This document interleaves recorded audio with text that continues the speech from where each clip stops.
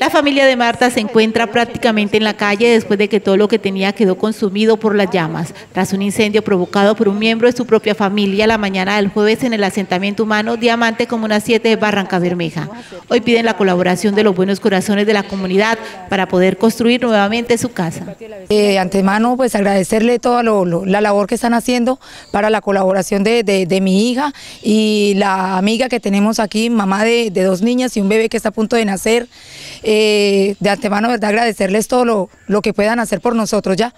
Eh, por ahora, pues, de verdad, lo prioritario ahorita es eh, empezar a, hacer de nuevo el ranchito de, de mi hija, la casita, y de ahí ya ropita, comida, y la realidad, pues, es lo más importante ahorita. Asimismo, tras el incendio, ropa y electrodomésticos también quedaron en cenizas. Su hogar también se habría convertido en el albergue de una mujer venezolana y todos sus papeles, tanto el de ella como los controles de su bebé, se quemaron, por lo que también piden ayuda ya que muy pronto dará luz y no tiene nada para traerlo a este mundo.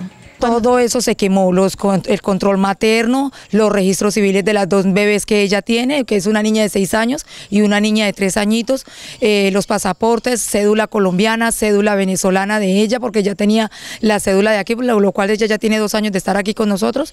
Entonces, de verdad le pedimos encarecidamente a las autoridades competentes que nos colaboren con esos papeles de ella. Las personas que quieran contribuir con esta noble causa lo pueden hacer comunicándose con Marisa Reyes a los teléfonos 320 80 440 94 o al 320 57 28 257.